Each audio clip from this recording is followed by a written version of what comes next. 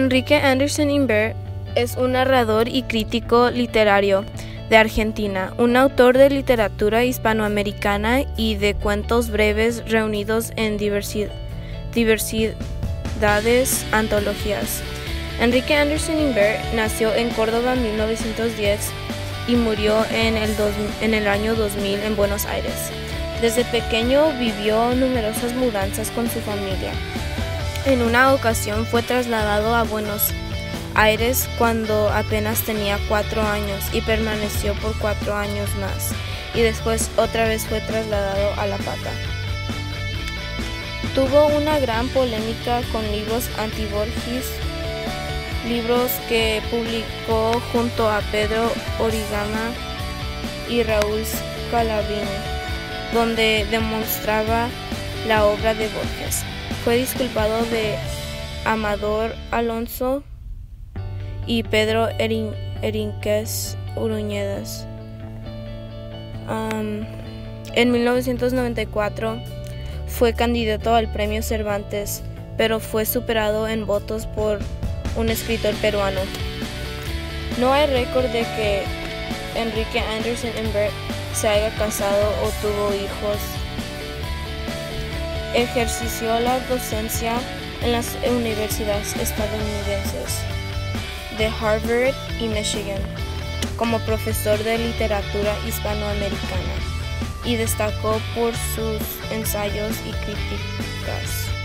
De 1940 a 1947 enseñó dual classes en la Universidad de Tucumán. Fue el primero Victor S. Thomas profesor de literatura hispana en la Universidad de Harvard. Destacó su trabajo como editor en, encargando la sección literatura del periódico.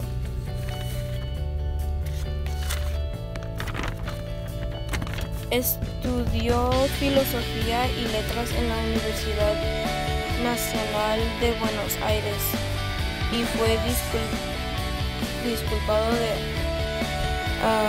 Alonso y Uruñeda.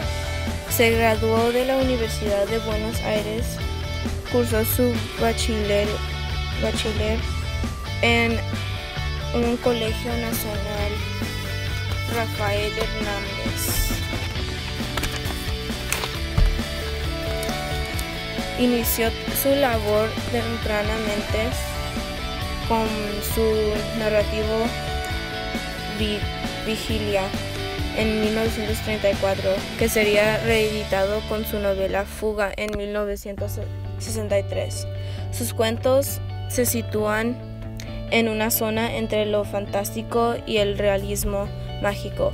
El gato de Cheshire, 1965, La, la locura juega al ajedrez, 1961, y La botella del Klein, 1965.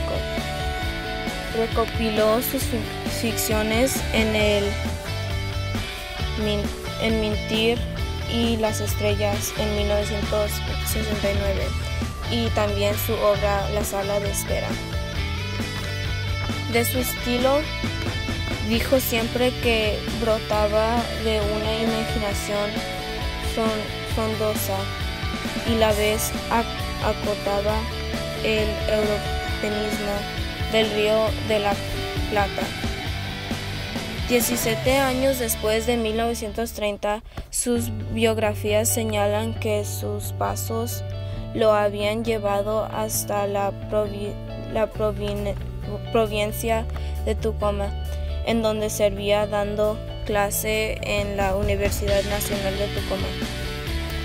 En, ocasiones fue trasladado a Buenos Aires cuando apenas era un niño de cuatro años. Estudiamos a este autor porque fue elegido como alguien de Academia de Artes y Ciencias en América. Su, obra Sala de Espera, que está incluida en nuestro álbum, y es un hombre con mucho éxito en su vida. Uno de ellos sería la escritura de todas sus obras, cuentos y libros iguales que su docencia en Harvard University. cuenta con gran prestigio en el mundo de las letras latinoamericanas.